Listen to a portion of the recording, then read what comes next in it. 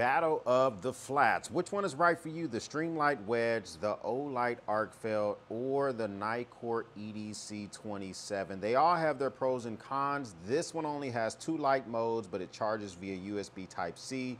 This one has five light modes, but it uses Olight's proprietary charger, which can be kind of annoying.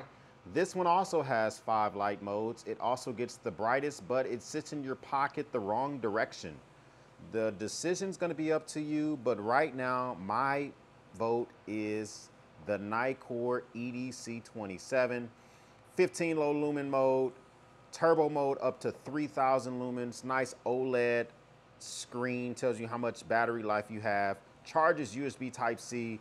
Sorry, O Olight, it's time for you to move over.